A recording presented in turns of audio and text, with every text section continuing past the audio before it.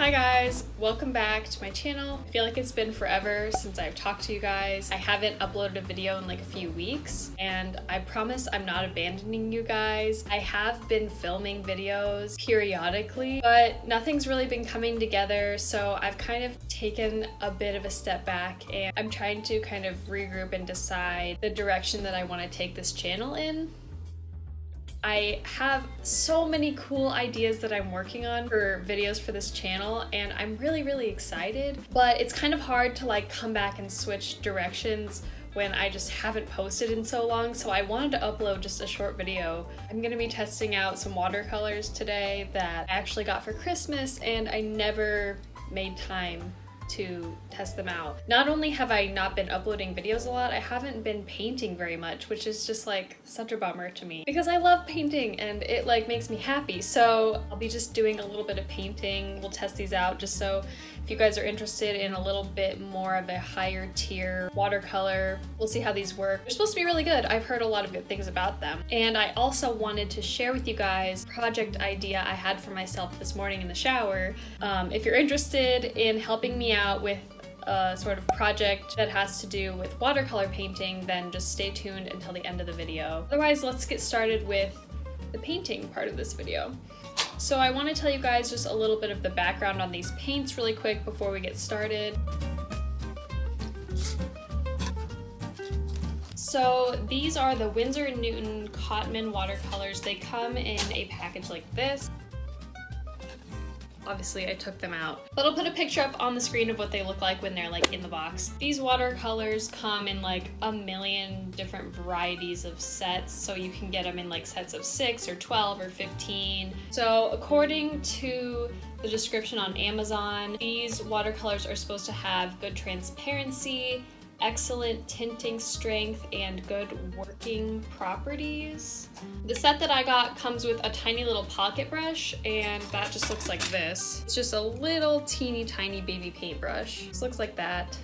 I don't know if I would ever necessarily use this unless I was bringing these guys on the go with me. For little tiny details, I picked up a couple of these brushes. I already have some small detail brushes that I've just been using for last six months or so, but I've been pretty rough on them and I think I damaged them beyond repair. So I went ahead and picked up some more and I promised myself that I would be nice to these. If you're curious, they are the brand Master's Touch and I picked them up at Hobby Lobby. So they're kind of a middle of the line paintbrush. So it's not it's not the most expensive paintbrush you can buy. The more time I start spending on art, the more willing I am to let myself buy nicer art supplies because I think it's good to invest in yourself and invest in things that you enjoy doing. So as we break into these watercolors, one thing that I found kind of interesting was the way that they packaged them. So first of all, each one of these little pots was individually wrapped in plastic and then in a second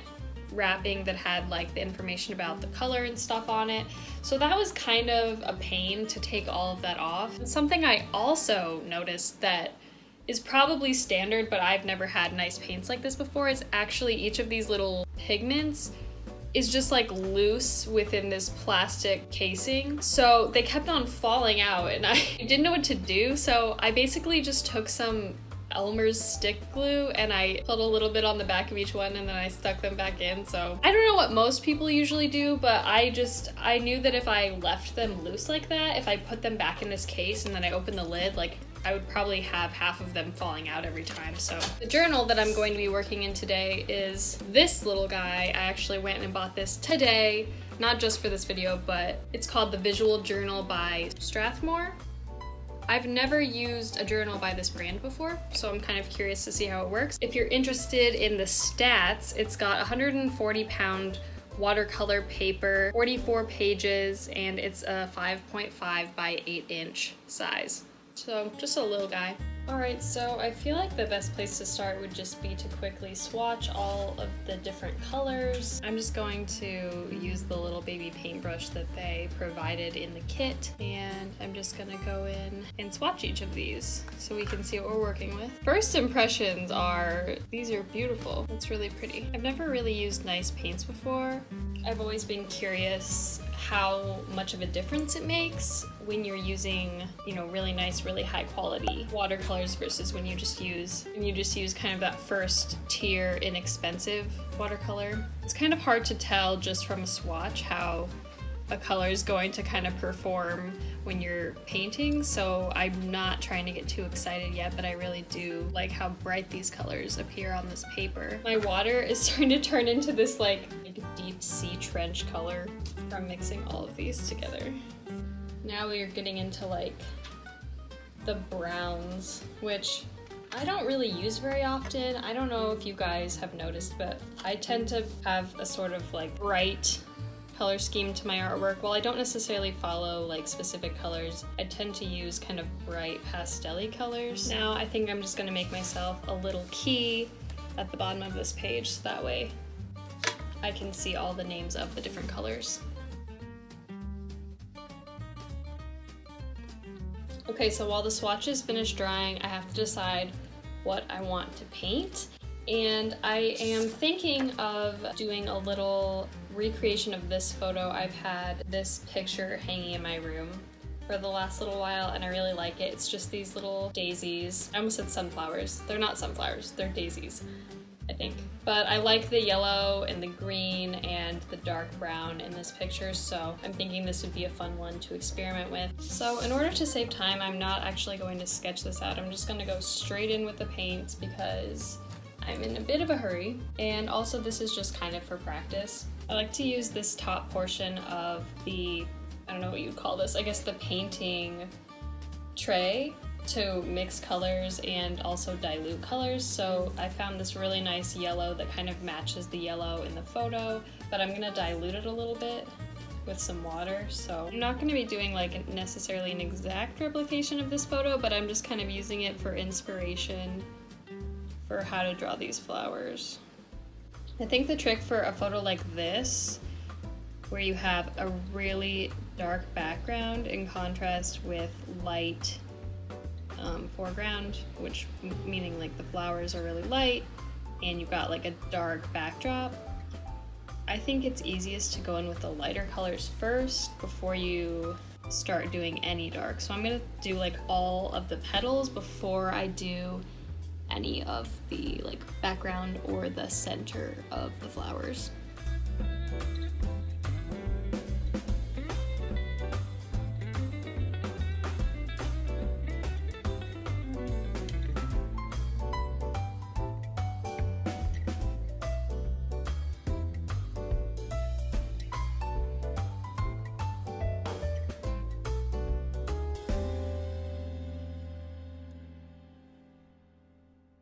Okay, so I've kind of reached a point where I can't decide if I should paint the background dark or just leave it like this because I kind of like the way that this looks, but I feel like it still might actually look really nice with like a dark contrasting background.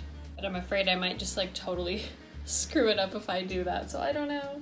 I think instead of doing a dark background, I'm just gonna go in and do some darker leaves to just give some contrast and then we'll just be done with it because I don't I'm just afraid that it might be way too overpowering if I try to do like a really really dark deep green like is in this picture.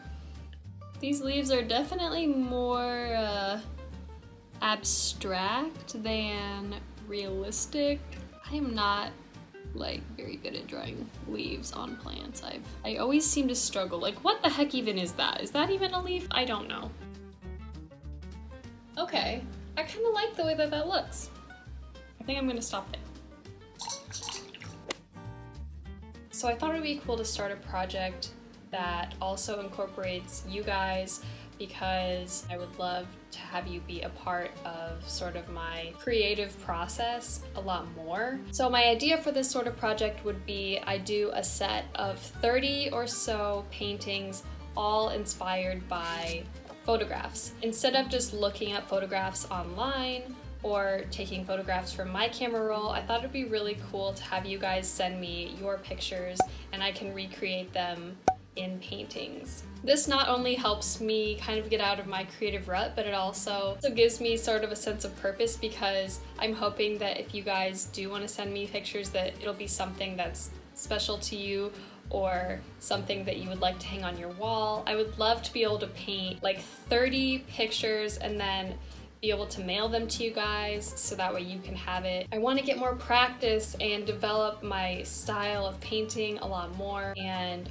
I just thought that this would be a really cool way that you guys could be involved in that process if you are willing to. I'm planning on filming the entire thing, filming each painting and, and you know, talking my way through the process and what the photo is and, and if it has any special significance to that person. I think art is so much more meaningful when you have an actual purpose for creating it. Anyways, if you guys are interested in sending me a photo, it could be anything. Your morning cup of coffee, your favorite pair of shoes, a picture of you and your dog. I would love to be able to recreate it and then be able to send that to you and you could have it. If you are interested in sending me a photo, I will have my Instagram linked down below. You can just send it to me in a direct message.